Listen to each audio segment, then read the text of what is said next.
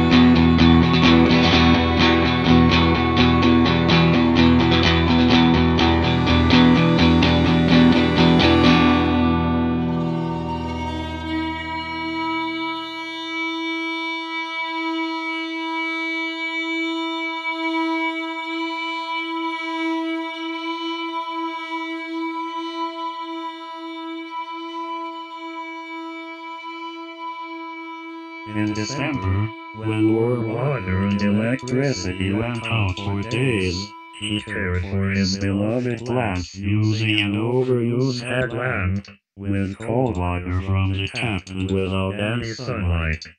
Only then did they beautifully flourish in an almost frightening and powerful manner.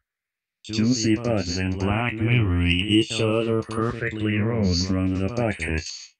He was completely happy, happy and euphoric. He liked his flowers so much that it almost hurt. But then customers came in through the yard one time and peered through the dark ranks. This occurred quite rarely. It was primarily mourners, lost souls or tourists who would curiously look past the walls. He hadn't prepared any words for such occasions. He viewed them as an evil in everyday life to passively tolerate. The few of them, however, spoke a lot and asked even less. His aura was enough of an answer to many things. I've done no wrong to anyone. Please tell me otherwise. They won't put you in the dark, so you just might be right.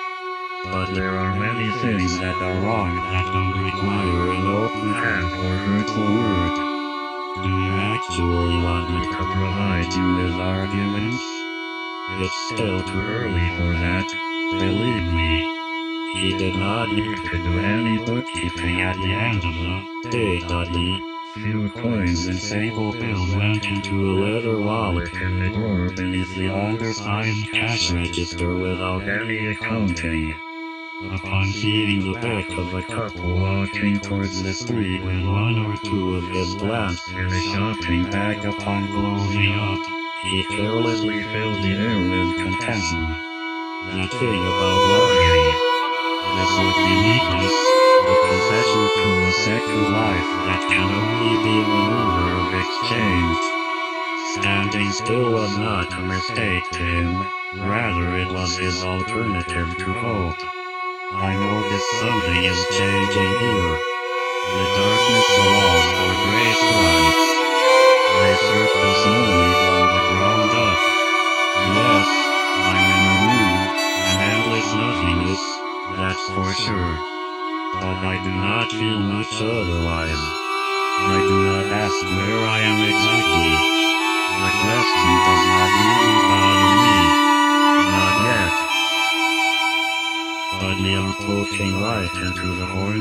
hornet's